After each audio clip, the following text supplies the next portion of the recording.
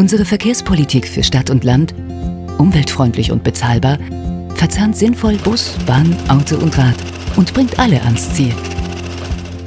Am 31. August Grüne wählen.